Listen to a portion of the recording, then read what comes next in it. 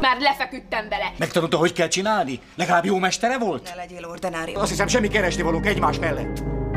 Családi harmónia fontosabb, mint a szex. Hogy képzeled így viselkedni? Hát mit képzelsz te? Nézd rám, ha hozzá beszélek. Ne hazudj nekem, ki kezdte?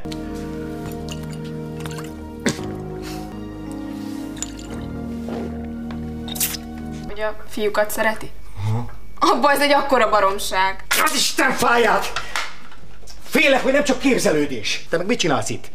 Nehogy összekenyít nekem valamit. Az Isten fáját! Te ittál utoljára szóda vizet, aztán üresen hagytad a szifont. Aki fiam hazudik, az lop is. Most sem mondasz igazat! Mit mondasz? Na gyerünk ki vele! Nem mondd már! És ha valakiről megtudnám, hogy olyan, be nem tehetnéd a lábát. Megértetted? Megértetted? Megértettem! Itt igenis én mondom meg, hogy mi lesz. Nem! Nem? Még hülye is vagy? Képzeld el, hülye vagyok, megyek Ákoshoz!